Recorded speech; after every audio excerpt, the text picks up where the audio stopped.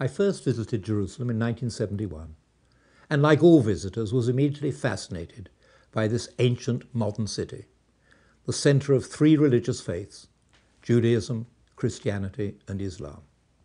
I was also fascinated by the tremendous variety of buildings, and each building had its history. And I decided that I would try to map the history of Jerusalem from the earliest times, from the time when it was King David's capital, right through to the building up of modern Jerusalem in the mid 19th century. And each of my maps shows a different phase. It shows Crusader Jerusalem, it shows Muslim Jerusalem, it shows the development of Jerusalem in the 19th century, it shows Jerusalem under British military rule, it shows Jerusalem as it developed under the British Mandate, and then the Jerusalem of conflict in 1947, the siege of Israeli independence in 1948, partitioned, and then reunified in 1967.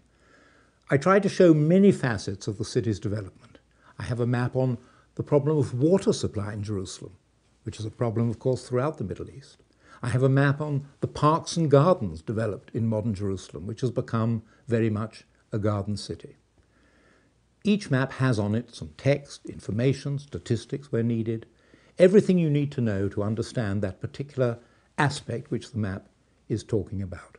I even have a map of the great kibbutz, Ramat Rachel, which is inside Jerusalem's city boundaries, and what happened to that in peace and in war.